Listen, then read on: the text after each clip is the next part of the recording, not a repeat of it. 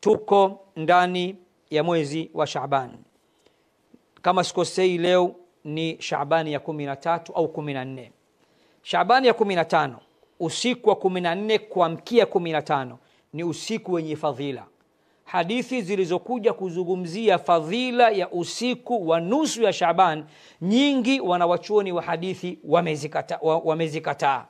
hadithi chache walizokubali zinaweka wazi ya kuwa ni usiku ambao allah hu, huleta msamaha na huwafutia madhambi waja wake mbalimbali sharti wenye imani ya kutosha imani kubwa imani nzito wasiofanya shirki na jambo la tatu wasiokuwa na kisokorokwino roho ya korosho. Roho ya kwa nini roho mbaya? Hawa hawatofutiwa madhambi.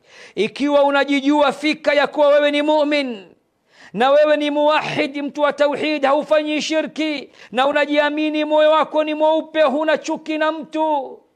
Hongera usiku wa nusu wa shaban unafutiwa madhambi yako yote na allah jalla fi ulah